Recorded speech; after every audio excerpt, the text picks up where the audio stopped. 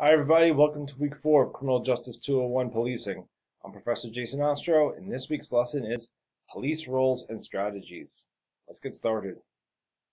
This lesson, we will describe various police roles, list and describe goals and objectives of policing, describe police discretion, and then explain community policing. And what I want to say before we move into the material is this is that a lot of controversy involving policing, beyond the surface controversy of policing, like things like use of force, um, systemic misconduct. Beyond those, a lot of controversy in policing is also originated from this idea of what we want the police to do. What is the role? And that philosophy differs from person to person, place to place, and time to time. And nobody's really right and nobody's really wrong in my view. Because if one community says, we want this type of policing, and another community says, we want that type of policing, who's to say that they're wrong? Now, we as a society have to make decisions about that too. But nonetheless, the role of the police does in fact cause a lot of controversy in policing. So let's talk about that. Police roles. Some people feel that the police role should be to fight crime. And as you see from that picture over there, it looks like a very aggressive use of police force. And some people might look at that and say, that's what I want to see the police doing, arresting people, assuming the person needed to be arrested in such a manner. Other people may look at police and say, I want them to engage in order maintenance, just to make sure that everything is okay, just to make sure, just to be out and about, just to make sure that you know, the, the streets are orderly, the traffic is orderly, that pedestrians are crossing at the crosswalk, that everybody feels safe and secure. Order maintenance. Others may say that we think the police should be service providers and providing services that are not available elsewhere. This is an interesting picture here, and uh, for a number of reasons. It's pretty it's pretty well known from a few years ago.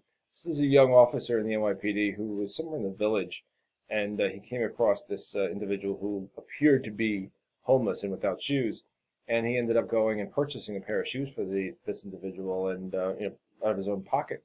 And somebody saw this on camera, and uh, somebody saw this, and they caught it on camera, and um, you know made the police department look very very good. They had a big press conference, and uh, they actually ended up making him a detective after this uh, incidentally enough. And so many people said, wow, that's great. You know, look, police work going out there and helping people, providing services.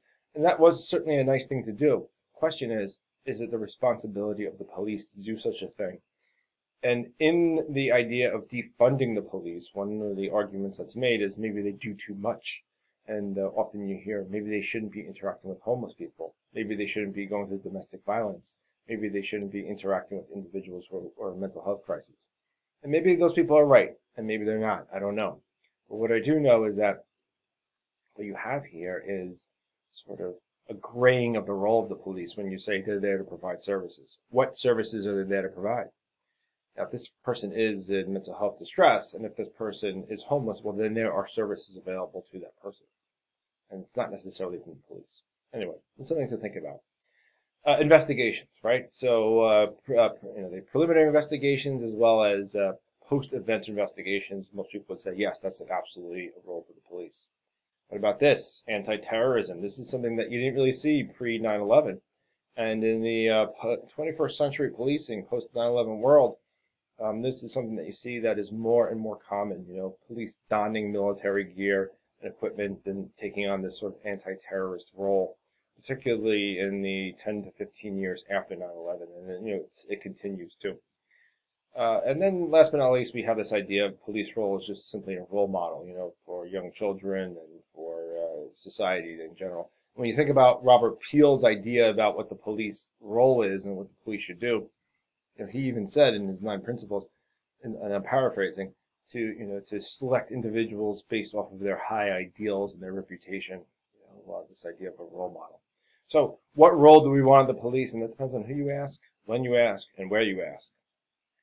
One of the things that we can mostly all agree on in the world of policing, and, and I would say this is uh, fairly standard, is that the primary goal of policing is and should always be, first and foremost, to protect life, right? Life and then property, life and property. Okay, primary goals. And uh, that's you know what the police go out and try and do every single day. The secondary goals of policing are different, right? To prevent crime, to prevent terrorism, prosecute offenders, recover property, enforcing regulations, right, delivering services. So all of these assisting the sick and injured. Secondary goals, uh, we can argue about uh, which one should be you know, more important than others.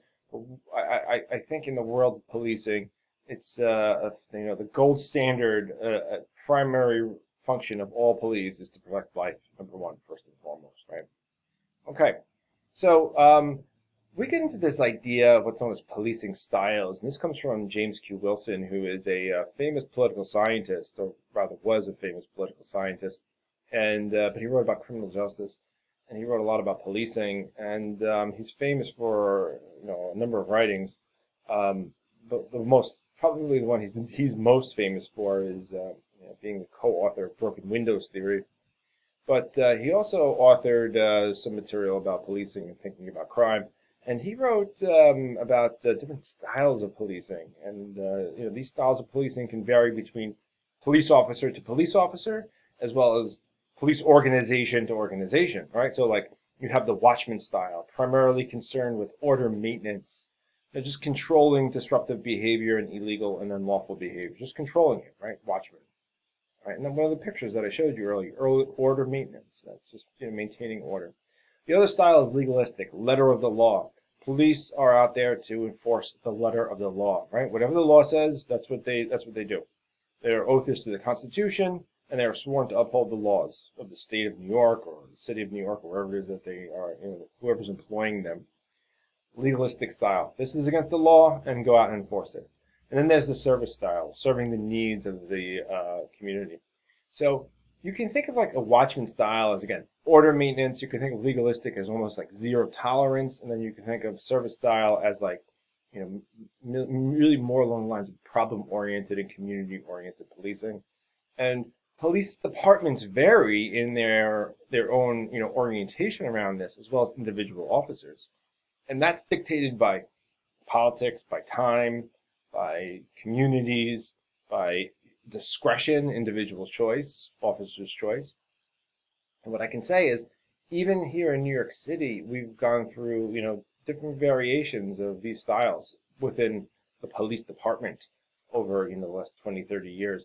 You know, when policing in the 1990s was very, you know, zero tolerance oriented for the most part. And you've seen more of a you know, switch over over the last 10 years to this watchman style and even more service orientation. So something to think about is which is most effective, and uh, it's a tough question to answer. All right, so this leads into the idea of police discretion, which is extremely important, and is probably the most important thing in the criminal justice system. And here's why: because police have to make choices. Choices. Police departments make choices about what to enforce. Police officers make choices about how to handle specific situations. And then you think of it like a domino you know, like a row of dominoes. The police are the first domino in the criminal justice process. And if they like use discretion and decide not to enforce something, well, then that person never existed. Whereas if they go and they pull somebody over and they give them a, give them a summons or they place them under arrest, that domino now falls and the rest of the criminal justice process initiates. You know, so discretion is an availability of choices, options, or actions that you know one can take in a situation based off of somebody's own professional judgment. Criminal justice system uses discretion, uh, tremendous amounts of discretion. You know, prosecutor uses discretion, courts use discretion. But I, again, I would argue that police discretion is the most important, and it's because um, it's the difference between entering into the criminal justice system and the criminal justice process and not having existed at all. Police officer again pulls you over, and they just say, "Okay, I'm going to let you go with the warning." They use discretion you never existed in the criminal justice system. Whereas if they give you a summons, they put you under arrest. Now that initiates the rest of the process. Okay, so how is discretion uh, exercised? Choices between when to arrest and when not to arrest. When to conduct a stop, question, and frisk. When is it reasonable? What type of force to use? How much? Right? You use of deadly force. Right? The ultimate form of discretion. When to write a summons or when to just warn and admonish what kind of crime to investigate and when not to take a report for certain types of offenses. Enforcing, enforcing certain laws and not others. And you might say, well, can the police do that? And they, they have to do that because there are, there are so many things that are against the law that if they, in fact, enforced everything, then everybody would be in violation of something, whether it's crossing the street against the light, or riding your bike on the sidewalk, or or or using a uh, uh, sitting on a milk crate is against the law. I mean, you name it. So they have to make decisions about what to enforce, and both the organization makes that choice, and then also the individuals make those choices. So what influences this, right? So the offense, what, what are the characteristics of the offense? Typically, if it's a felony, the police have no choice. If the felony, if the offense is, involves a felony, they involve no choice. It's a misdemeanor, typically they do have some kind of discretion, and if it's a violation, usually the officer themselves has, has a lot of a lot of uh, discretion. Relationship between the victim and the criminal, right? Are they family members? Are they friends? Are they neighbors? Do they know each other, right? Two people get into an argument on the street, and uh, the police show up and these two people don't know each other, the cops can say, listen, just you go that way and you go that way and let's call it a day, all right? And that's discretion. But if those two people know each other, they're neighbors, they're relatives, well, that's a different story because there's a likelihood that violence may occur in the future. So relationship between the police and the criminal was a person arrested in the past, right? And then also, what does the police department require? If the police department says zero tolerance, you know, zero tolerance, you must enforce all of these laws, well then officers are required to carry that out. Okay? All right, so just let's look at these two brief scenarios, and they're, they're pretty straightforward, but it gets you to think about this concept of discretion. A police officer stops a person who jumps over a turnstile. Subway. Person has ID. But instead of issuing a summons, the, the, the, the officer places the person under arrest because the person's being mouthing off, they're being a jerk. Right? That's discretion. A police officer Jumping over a turnstile is theft of service. So a police officer can just say, you know, I'm going to give you a warning, but go ahead. Police officer could say, I'm going to give you a summons. Police officer could also say, I'm going to place you under arrest. Discretion, choices. In the law, as well as by policy, they can do that. And so that's a use of discretion right there. All right, scenario number two. A man has stopped by sec- uh, security at a drugstore for attempting to steal candy. The police are called to the store. The store manager demands that the person be arrested. And it was worth, you know, five dollars worth of candy. Now, officer may show up and say, "Oh, hey, listen, let's. Uh, how about we just tell this guy never to come back to the store again? He'll sign an agreement, and then if he comes back, we'll arrest him for trespass." Pretty reasonable. However, sometimes police departments say all shoplifters must be arrested and that's called zero tolerance. And in the 1990s and the early 2000s, that was very common. Okay, so it's individual discretion sometimes is limited by the organization. Okay, and they're also sometimes limited by the law. So this is really important slide here. How is discretion controlled? Sometimes discretion is controlled by laws. Like laws, certain laws require that the police must arrest, especially those involving domestic violence say the police must arrest if it's a felony or if it's a domestic violence. The laws control when the police can use deadly physical force, when, when, they, when they're justified, when uh, they can stop question and frisk versus Terry v. Ohio. Police department policies say when they could shoot, when they can't shoot, when they must arrest, when there's zero tolerance. And then individual officers make the choice sometimes when those first two, when laws don't apply and policies don't apply, then it comes down to the individual officer. All right? And your assignment this week, discussion board assignment, relates specifically to this slide. So if you, um, you know, you say, Professor, uh, I don't understand the question, and I don't understand how to answer the question, it's because you didn't look at the slide. Because I'm asking you about when it's controlled by law, discretion is controlled by law, when is it controlled by policy, and then when is it individual choice. All right. One example of department-wide discretion is, is community policing, which is very popular today. It's a choice. When I became a police officer in the late 1990s, police departments were still very zero tolerance, broken windows oriented, you know, enforcement of low level offenses.